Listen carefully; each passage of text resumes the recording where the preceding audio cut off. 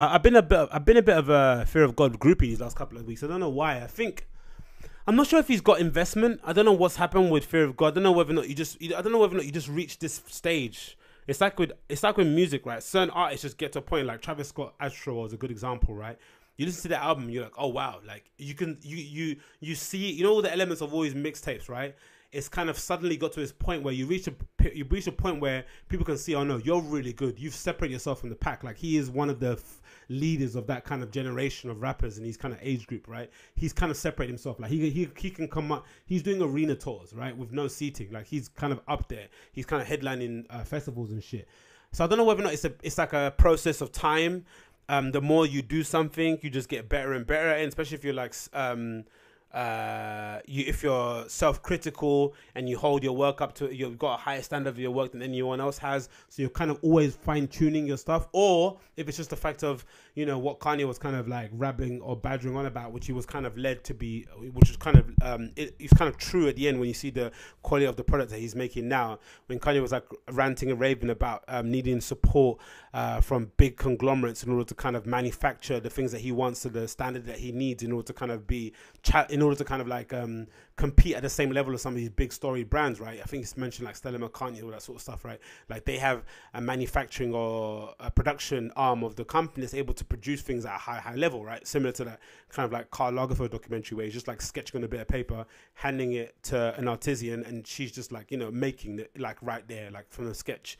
So that level of production you need in order to kind of like reach the high level. So I don't know whether or not it's investment that so it's been allowing him to kind of access to bigger factories or better factories and improve the finishing of his thing, or it's just that you know he's uh, he's probably reaching ten years in the game. He's done his ten thousand hours, and now this is the fruits we're seeing. But Fear of God has been absolutely smashing it. The clothes I mentioned, the other podcast featuring Jared Leto in the lookbook looked incredible, and now um, we've seen a kind of preview of the footwear, which looks really really interesting, very very different to what's kind of on the market at the moment, and just kind of very um very Fear of God looking. There's like a signature to his kind of uh, stuff now that it was probably always there anyway in terms of the silhouette, in terms of some of the color palettes he used, in terms of some of the kind of a quote unquote appliqué or whatever you call that thing, right? There was a kind of a bit of a style DNA, but now you're seeing it even more come to prominence. So I'm put some of the things on screen now, but you got these sort of like I'm you could call them duck boots, right? Sort of like um a slip-on van with like a a really uh,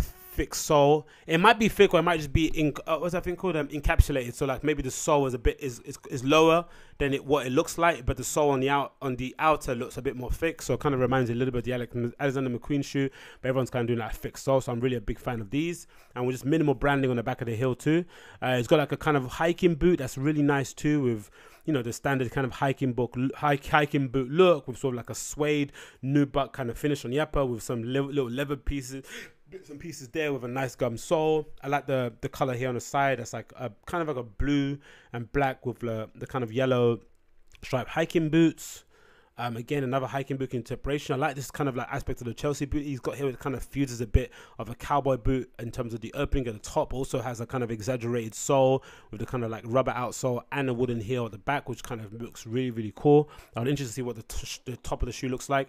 I really like this shoe here on the right. It reminds me of a Rick Owens uh, sneaker that they have that's um that's sort of like a looks like a chukka boot. Looks reminds me a little bit like that. So it's sort of like um, a Chelsea boot without the lace. A Chelsea boot basically without any sort of elastic on the side, but then on the inside it's got three buttons. I'm assuming are the clasp and the zippers on the inside again. So really nice shoe there. Uh, you've got more of the same sort of like Chelsea boot in different iterations. So navy, cream upper. You've also got the kind of Chelsea boot again in the kind of python, which looks amazing. And again, I like the mix of the rubber outsole and the wooden heel at the back. I'm not sure if it's rubber, maybe it's not, but it's really nice, and even the black looks amazing too. Um, you've also got uh, low sneakers that kind of look similar to kind of like a Vans Authentic, but kind of done in his sort of style, which I like too.